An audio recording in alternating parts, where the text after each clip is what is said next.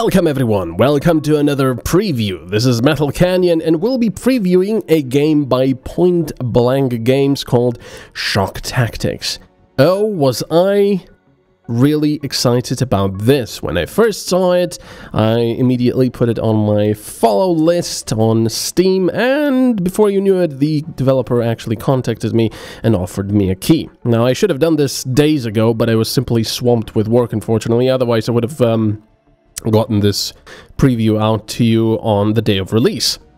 Anyway, Shock Tactics. It's like an XCOM game. It's an XCOM-like game, I should have said. And uh, let me just click continue over here so we start loading. And, um, I mean, how much more excited can you be? The screenshot, uh, the screenshots looked great. Some of the stuff I already seen, some of the videos were uh, pretty uh, interesting. You know, it's like an XCOM squad-based, turn-based tactical ba uh, game with uh, with uh, base building. And how much more awesome can you get? And why is this so loud? I thought I put it. Hmm. Oh, let's put it like it's 70. All right. So, how much more awesome can you get? I was so excited about this game, but oh dear. Oh dear. Oh dear. Oh dear. Oh dear. There are so many things, unfortunately, wrong with this game. I don't even know where to begin. I I I wanted to love this game. I gave it a chance so many times. This is one of the reasons I haven't done a preview sooner as well, uh, because when I did have time, I started up the game all excited, and then I I just I played for half an hour and I couldn't do it anymore. Uh, so it was over several days. I started up the game, sometimes more than once per day, and I wanted to give it another chance. And it simply, unfortunately, disappointed me every time I played it. That's the bottom line. Now you can probably just stop uh, watching the video here, or you can just see what the game is all about. Anyway, this is our base. The story is we're on a planet, on an alien planet, and honestly, I don't know much about the story because it's so weird and convoluted. It's not really convoluted as much. Um, there's this obelisk we, we came to take, and this is where we set up our base to, to study the obelisk. But the game doesn't tell you anything about why we're studying this obelisk. Okay, because it has strange energies, but why have we come here searching for this? Why are there so many weird people wanted to kill us? And so on and so forth. Anyway, let's leave that uh, alone for a moment. Let's just concentrate on the base building. I love base building in these games. You can see we've got our arsenal, we've got a landing pad, training center, and a tech core, uh, tech forge. And as you can see, it's a, it's a lot. It's very inspired by XCOM 1 and 2, for example, the the new ones, um, with their base building, because you can you know you can see your buildings and the people doing stuff in them. Now, of course, just like in the previous in the in XCOM games, you know the games that I'm going to be referencing a whole lot here.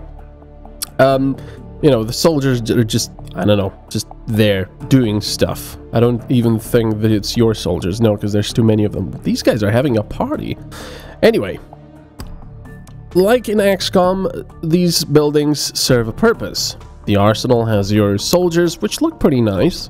Um, I have already equipped the uh, new armor I've made for them, so they don't die as easily. But the one thing that probably, you know, jumps out at you, or maybe it doesn't, I don't know, but it's the UI. It just feels a bit uh, alpha-ish.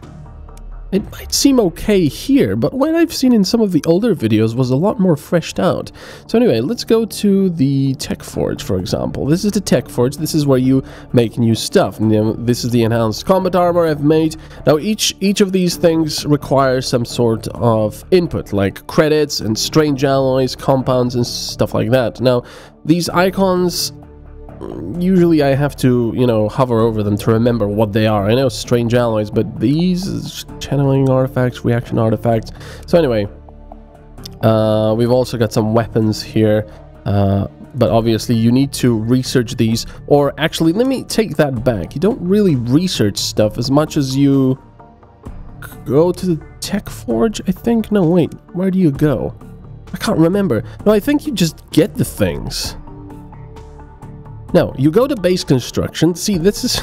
You go to base construction, and this is where you build stuff for your base. You go to Tech Forge, and if I upgrade my Tech Forge, I will unlock the next artifact, enhanced armor, and weapons. That's it. There's no research involved. That's done by Cap, the, the uh, story's main character, which also, by the way, is one of the squad members, I believe.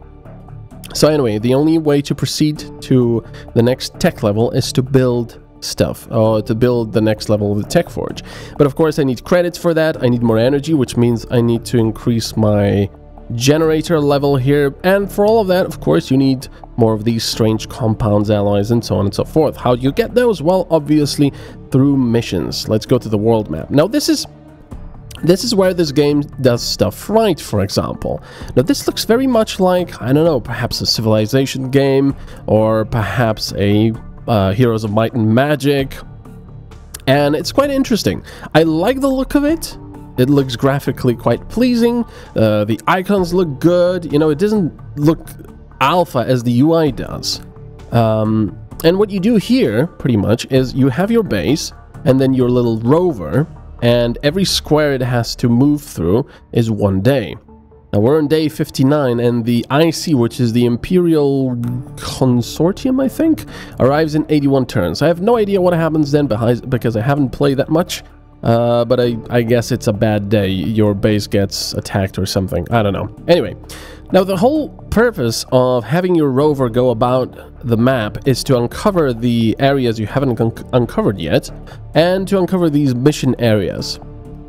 Now, unfortunately, I was quite excited about this. I thought that, you know, there would be like cool story missions or like special areas and stuff like that. But most of the stuff is just the IC attacked our excavation site. If we want artifacts, we have to take it back now. Oh, look, the IC attacked our excavation site. What about the drop? Well, pirates are planning to attack our excavation site. The IC attacked our excavation site. Uh, towers the IC attacked excavation site. You know, it's like, who the hell is this IC and why do they want so much? You know, I, I was kind of hoping that, oh, if you if you take this area, if you secure this area, we would get this. And you do still, you know, for this one, we'll get 2,000 credits, 100 uh, strange alloy, and so on and so, so forth. So these aren't really areas which will you will establish a base in and they will continually give you resources. No, they they give you just the instant reward when you complete the mission. Now, my main problem with this is this difficulty slider. Or it's not really a slider, it's a bar. Oh, it's an alien. Oh yeah, these are the aliens. That's that's one of the coolest uh, features about this game. There's there's alien creatures because it's obviously an alien planet. We'll get into more of that later. Now the difficulty thing. I usually just do missions with one or perhaps two difficulty because anything more seems to be a massacre because of one big flaw. The mission uh, how the missions are designed. Let's let's let's try this one. Let's start the excavation operation. So we get the um, rover there, and then the dropship will fly there and drop off our uh, soldiers over here. Now, here's the problem. Some of a lot of the maps are created with enormous open spaces where there is no cover. Now you might say, okay, so it's just much more dangerous because both the enemy and your squad are on the same footing, you know, no one has cover, so you just have to kill each other quickly. Nope, that's not how it works. How it works is that you get no cover and they can hit you from pretty much the other side of the map if they have snipers.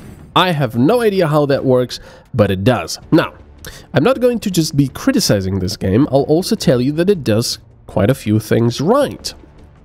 For example, uh, if you remember in XCOM, you can probably already, you know, know you already know what this is. This is where you're running and you can still shoot, and this is dashing where you can't. Now, however, the nice thing about this is that the game actually uses action points, as you can see. Uh, we'll get to the UI just in a moment. Uh, so, for example, you know, in, in XCOM 1 and 2, you could move over here and then shoot or move again, but that was it. You had two actions, that was it. Or if you shot, that was it. Uh, here, however, you can use action points however much you like.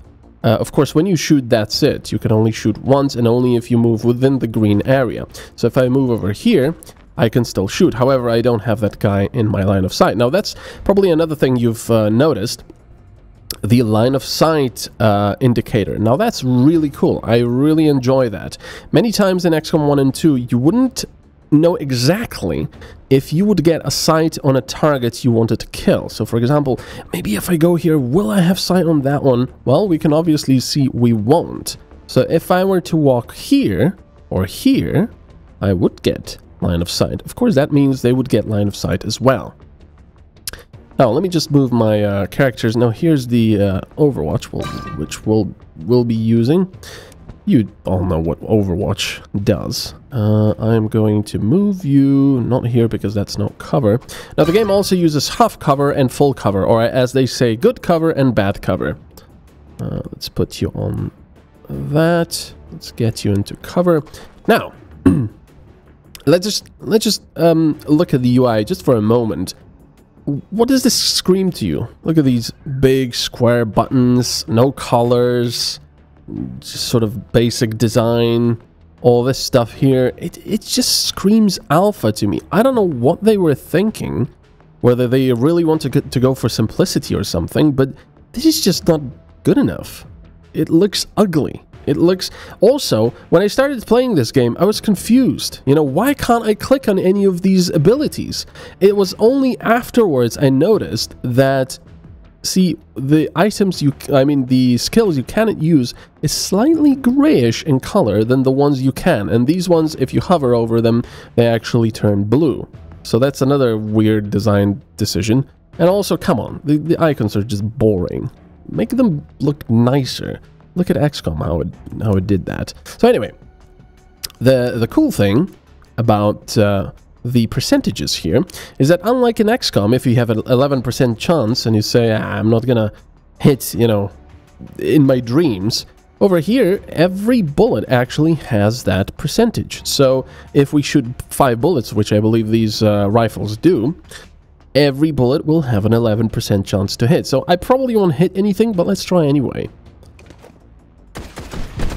There we go, we got one lucky shot there. So we took one health off their shield. So that's a cool, you know, that's a cool thing. I can, uh, I can say that. That's pretty awesome. Uh, because it was pretty infuriating to have a huge minigun in uh, XCOM shoot shoot some alien and miss everything just because you you didn't do that 69% chance. Uh, you didn't have luck. Let's move you here. You're too far away to hit anything. So 8% and 1%. Now this is something you'll see a lot in this game. Uh, this is These are my main problems. The snipers. If you've noticed, where is our sniper? I can't select him now. Okay, I'll show you the next turn. Anyway, let's let's move the rest of the people. Let's have you on maybe Overwatch, and let's have you move uh, somewhere. I don't know where. Uh, well, I gotta get you in cover. Um, let's get you there for now. And also do Overwatch. There. Now, the uh, enemies. There we go. Overwatch triggered. That wasn't too bad.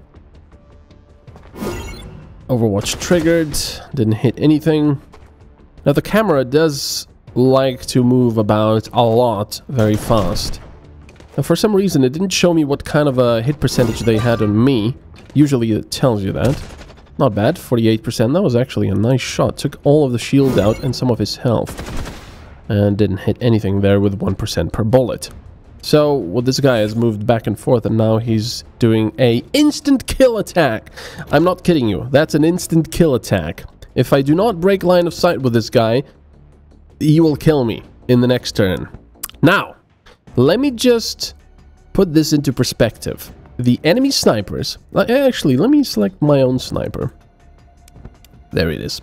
Now, you might have noticed this little bar here above the weapons. Now, this is pretty cool. It tells you what kind of a hit percentage penalty you will have for shooting at close range, because the sniper rifle obviously is a bit unwieldy at close ranges, and it doesn't really fare well. So 50% at point blank range, well, minus 49%. So if you move out, move out, move out, so there we go. This Come on. This, there we go. This is the optimal range. So quite far away, right?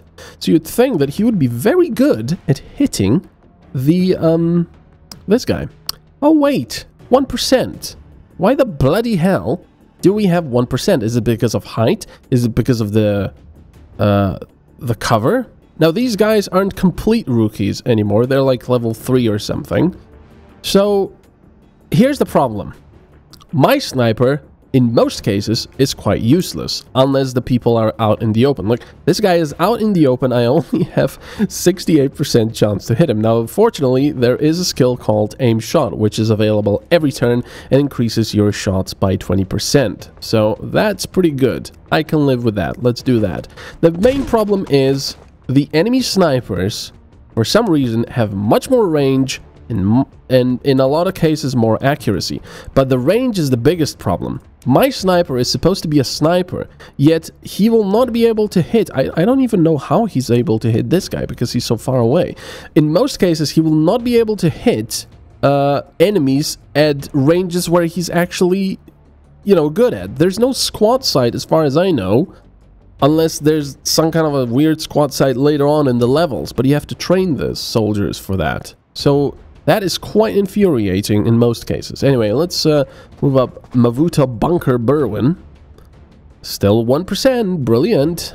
Now the problem is, because this guy is up here, we have to get up there right next to him pretty much to have a good shot at him. If I do that, there's about, I kid you not, like 6, 7 units over here, including a leader, which increases their um, stats if they're next to him. So we've got a 34% here. Let's try that anyway. Probably should do an Overwatch. No, that was actually really good. Now this guy needs to get it. No, that's not the guy. Uh, this guy is going... I don't know. There. That's not dashing, so that's good. Oh, also, please note the shield icons. You remember in XCOM, right? Where you had a shield icon, a full shield icon that meant that you had full cover, or in this case, good cover. If you have a half one, you have half cover, or in this case, bad cover in this game. However, can someone explain to me all the bloody colors that are going on? The red shield, I understand, that's an enemy. Yellow shield, does that mean he's flanked? Remember that from XCOM? So why did this, why does my guy have, oh, that's because he's selected. Okay, I only get that now. See, that's another one of my problems flanking doesn't really seem to be a thing in this game unless it's the enemy doing it. I kid you not. I might be just really bad, but bloody hell, I've played a lot of XCOM games and such, and I never had this problem. Um, when, if I were to be able to run over here, by the way, I kid you not, I would have like 60% maybe to hit this guy from here. If he were to move here and I was, I don't know, here, he would definitely hit me and probably kill me. So I have no idea how flanking works. It might be just a bug they need to sort out, but it's quite infuriating in a lot of cases. Let's put this guy on Overwatch. Uh, now we have... Oh yeah, I completely forgot about this guy up here. That's not good. Oh yeah, one cool thing, one thing I really appreciate with the mechanics here in this game is, remember how in XCOM you moved somewhere with a dash, for example, and oops, suddenly there's an enemy there, and you were, well, shit out of luck pretty much. Well, not in this game. The soldier immediately stops when he spots another enemy that isn't visible to anyone else yet. So that's pretty cool. So you can you still have time to recover. So for example, if I wait a second. Oh, okay. It doesn't work on this guy because he was already uncovered before. Okay, but if this guy was invisible to us for the entirety of time so far, he would have stopped like here because he spotted him. So let me just try and kill this guy here. Nice, because that was 95%, he had 5 health, and uh, we had 5 bullets. But this is another thing, see, it's all these little lines here for some reason. I don't know why they added them, because, any, I mean, people have one, two, three, four, wait, four and a half? What? I don't, I don't even know how much health this guy has. It should tell me somewhere, but... And see, this is a different bar altogether again. The orange stuff is armor, but I have no idea how the health works. I don't know. It's just the UI really needs some work. See, this guy is normal. One, two, three, four, five, six. Oh, wait a second. I take it back. This guy has 6 health, and this guy has like 24 or something. Yeah, yeah. I take it back. Okay. But still, the UI needs work. So if I were to move here, we'd still get killed. If I move here, we'll be fine because now it's gray and the guy doesn't have line of sight on us anymore. So, poof, that goes out in a cloud of smoke. And Overwatch triggered. Come on. Kill him. So, let's talk about the AI. Ow, see? I don't know how he managed to hit us so well there. We have a 25% chance, apparently, to hit him, but he was able to do quite a bit of damage. Let's see. 38, okay. And he had what, 45%? Now let's talk about the AI. The AI is fairly abysmal in this game. Now I never, you know, I never pretended it was very good in XCOM or anything. Let's move over here. See, now I should be able to flank him. Okay, right, okay, this wouldn't be a flank in uh, XCOM either because uh, he has cover to this side. But still, 52 here? Come on. It's annoying. Now anyway, uh, the AI, I don't know. Sometimes, usually it just stands there and shoots you. A lot of the times it'll run out of cover towards you in a suicide attempt just to spite you and kill one of your soldiers and then, you know, die themselves because, well, there's nothing they can do there in the open. Um, it's, it's just, I don't know, it's not very good. And the most infuriating thing about that are the missions where you have to... Oh yeah, nice thing, if you press R it gets rid of the uh, roofs. Uh, if you press... I'm sorry, if uh, if you have a mission where you have to um, save prisoners, the problem is the enemy starts out... Oh yeah, there's another path over here I didn't notice. It's probably what we should take. The enemy starts out um, by attacking prisoners, by having a skirmish with them. Now see, this is my sniper here. 1%. oh my god. Uh, why? So what happens is you have to run through this entire map. For example, if it was a, you know, if this was an escort map, the prisoners would be somewhere over here fighting a bunch of enemies. Now we would have to go all the way through this map fighting enemies to get there, all the while the prisoners, albeit armed, usually just ignore the enemy and don't do anything despite the fact that we spook the enemy units, they run out of cover towards the prisoners and would be easily shot and flanked by the prisoners, but they don't do that. It's just infuriating in, in you know, situations like that. Anyway, so now, if I run up here, I am so screwed, but I'll show you anyway. There we go, boom. Two enemies over there. There you go. Now the uh, now my soldier stopped because he spotted them, so that's nice. We can react to that. I really do appreciate that. Look at that, 65, 94 finally. So there's an enemy here and two enemies over there. I'm going to kill this guy. And I am going to get my other soldier... Soldiers, oh, excuse me. Soldiers over there. Uh, no, there was one more thing I wanted to say. What was it? I can't quite remember. Oh yeah, let's go into cover over here. The thing is, we'll probably get flanked by that guy. I don't know how, but we probably will. And get shot up. Now, also another thing, you might have noticed that, look, I move all the way that I can. Yeah, the game still says that I have a sliver of AP left, so I have to click end the turn for the soldier. It's a little bit annoying, but oh well, nothing that can't get patched out. It's just the major stuff that, you know, pisses me off. Because, and it pisses me off for one reason. The graphics, while not amazing, look quite nice in a way. Ow, 14%. Um, you know, they, they look quite nice, and this game has potential. But it just needs such a huge amount of polish. This need this game needs another six months at least, or a year in development. Um, there are no you know character sounds there are no voices that, that should have been there because it just feels empty i like you know clicking on my soldier having them move and then going yes sir or you know going like i'm under fire stuff like that. You know it just adds to the whole thing. It's nice. But there's nothing like that here unfortunately. Now, if I move my soldier over here, there's no telling when one of these soldiers will move here and flank me for some reason, or even those guys will flank me. I don't know how it works. Maybe it was patched out, maybe that was a problem before, but um, you also have various, um, you know, abilities like this one. I don't know why I can't hit these guys. I can only hit in the horizontal. Oops. No, no, no, no, I didn't. I clicked cancel. I mean, I clicked resume and he just shot. What the frig was that? Oh dear. Okay, so let's move over here. Let's try to kill something. Uh, also, oh yeah, this is the aim shot. Well, let's try that. Also, one of the soldiers, I think it's Cap. Let's see. Is it Cap? No, that's not Cap. Who's Cap? I thought Cap came on the missions, but I guess he didn't. Now, this guy has the... Uh, no, mark target. Who has the honor thing? No, that's the aimed shot. No, this guy has the honor. Grants 20% aim bonus for each enemy in direct line of sight. Lasts for one turn. Check it out. It, the cooldown is once per mission. It sucks. It's like, oh dear, I need a boost in accuracy because my soldiers are crappy as it is by in you know hitting targets. There we go. And uh, you only get it once per turn. And how is this a 20% increase? This wasn't a 20% increase. There we go. That wasn't too bad, but it wasn't good either.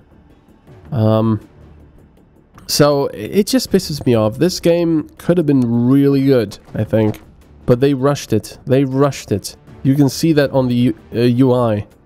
There is no way, um, you know, this was finished in their minds. No way. Uh, so this is 14%. See, so now my only option is to either fight it out here or somehow run, out, uh, run over to this cover or go all the way around over here and try to fight them from here, which would probably be a much better option. But, you know, there's... I don't know. I like the fact that the game doesn't, you know, hold your hand all the time and give you cover everywhere, but this is also ridiculous. This is a tactical squad-based game where the enemy, most of the time, for some reason has much more range than you do and will shoot you up if you're out in the open. In fact, I have a feeling that the AI cheats somewhat and actually knows where your soldiers are. So if you go out, out into cover, suddenly enemy soldiers will, will appear and they will shoot you. And there's the enemy leader, by the way. And, um, you know, they, they give you almost no cover whatsoever. It, it doesn't work like that. It's not gonna work. Right, so my only option really is to... Well, this is half cover. They'll just annihilate me there, but let's try it anyway. Uh, maybe not. 31%, let's try that. So how do we have, on high ground, have such poor accuracy here? that we can't shoot anything. Now remember, if I was to go over here, or, you know, well actually, they see me from there, but these guys would definitely jump on the uh, chance to shoot me there when I'm flanked, even though I can't really seem to flank them. Now, as I said, take my critique with a grain of salt, because I haven't played the game a lot, simply because of the fact that it was so frustrating and just unfortunately not very good. Um, your mileage may vary if uh, if you're a bit uh, masochistic, but uh, yeah, unfortunately, I cannot really recommend this game to you. Uh, it has its moments. Sometimes it, it, shines, and actually, here's the perfect here's the perfect case in point for this game. Let me tell you a story about my last mission I did before I, I made this video. It was a pirate mission where I had to find and kill a pirate leader. Uh, it was a fairly large... Look, look at this. Look at this. How much damage they're doing to me from that range. 53%. Seriously? So anyway, and uh, look, at also the number of enemies. You might say this is my own problem for pushing up, but I just wanted to show you what happens when you screw up like this. Uh, so I was trying, I was trying to find this pirate leader. Now the problem was, it was a big map, and I had to fight through a bunch of pirates on the way before I could find the pirate uh, boss, which of course was at the very end of the map. Now, there was a couple problems. One, as I said, a lot of enemies. Two, uh, there were enemy reinforcements coming in in like eight turns or something, which meant that I had to hurry. But I couldn't hurry because they would shoot me up. So I get to the pirate boss and he spawns with huge armor, a huge comical tank cannon on his back. I don't even have percentages on these anymore for some reason. Uh, and he starts shooting up my people. But it's okay, you know, it's a fair fight. I, I managed to take him out with um, quite a bit of damage done to myself. Um, however, here's the really crazy thing. Uh, let's go for 16%. Just, I don't know who was, no, that was the other guy. Uh, now, here's the crazy part. All this time, the clock is ticking for the uh, reinforcements that are coming. And I finally kill the pirate boss, and I think to myself, phew, that's gonna be it, right? Uh, but no, we have to get to the evac point. So I think to myself, alright, it's fine. I'll manage to kill the reinforcement somehow. The dropship drops right behind me pretty much, because it, it showed me where it would drop. And it drops, I kid you not, six pirates. Six pirates. And don't forget that when I kill the pirate boss, one of his henchmen, I think a sniper, was still alive. So I, I was, I either had to kill the sniper and be flanked by uh, all the pirates, or, um, you know, or um, take care of. Let me just move over here, actually, or take care of the reinforcements and be flanked by the sniper. It was insane. Now, here comes the really cool part. I hope you're still with me. So I've got this one pirate and the six pirates as reinforcements. I know I'm not doing this right, but I just can't be arsed anymore because there's so many. Uh, I, I desperately try to fight them all. Let me move here, see what happens. I think he'll be flanked. I desperately try to fight them all, and suddenly I notice that over here in the mission objectives, it says, you know, where that enemy reinforcements incoming timer was, suddenly I have four more timers. And each one says like four turns, three turns, two turns, one turn. And I was like, what? That's weird. Probably some kind of a bug now that they've spawned, you know? But no, it was not a bug. Pretty much every turn, another dropship arrived in a different part of the map with six more units. so let's do the math, shall we? That's 4 dropships with 6 soldiers each. That's 24 soldiers versus my 5 soldiers, which are already pretty low on health.